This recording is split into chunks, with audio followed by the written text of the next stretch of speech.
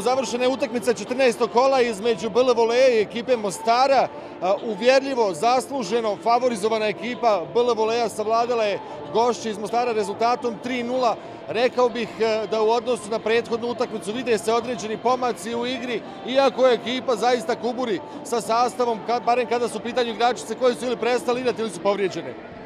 Pa činjenica je da imamo određenih e, problema sa povredama igračica, međutim ova je veoma važna pobjeda za samopouzdanje i za naredne, za naredne utakmice. E, protivnika smo pobjedili 3-0, ali to nimalo nije bilo lagano jer ovo je veoma teška, žilava ekipa, e, ekipa koja ima mnogo energije u igri i želje da se nadigravamo da se nadigravaju. Moje igračice su sve vrijeme imale kontrolu igre, igrale svoju igru i mislim da smo stvarno zasluženo pobjedili.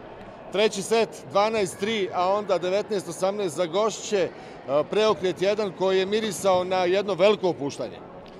Pa vidite, pokušali smo određene taktičke e, zamisli da realizujemo. Sve je to sport, sve je to igra. Ono što je bitno, pokazali smo i u tom trećem setu karakter i zasluženo ga dobili. Četiri kola do kraja. Očekujemo da ekipa BL Voleja tempira formu za taj play-off u kojem će igrati maksimalno dobro, a očekujemo i sedmica u sedmicu se bolju i bolju igru. Raspored nije težak, nije lagan, nego je baš onako takmičarski. Naravno, naravno. Treniramo, spremamo se, e, imamo visoke ambicije, igračice vrijedno rade i sa, svakim, e, sa svakom utakmicom pokazuju sve više i više nivo igre. Još to nije na onom nivou kojem, kojem mi težimo i kojeg oni mogu da igraju ali kako smo rekli idemo iz utakmice u utakmicu da igramo sve bolje i bolje i nadam se da ćemo pravo lice pokazati u play-off.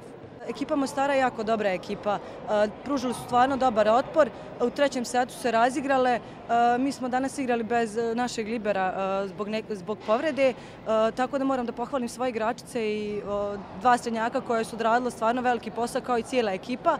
I jako se ponosim tim. Vidjeli smo da možemo da funkcionišemo iako nam neko zafali, uvijek se snalazimo i pokrivamo jedna drugu, radimo za ekipu ekipa Mostara mislim da je jako dobra ekipa i da će se zadržati u Premier Ligu ove godine. Borba za tu četvrtu poziciju ostaje otvorena?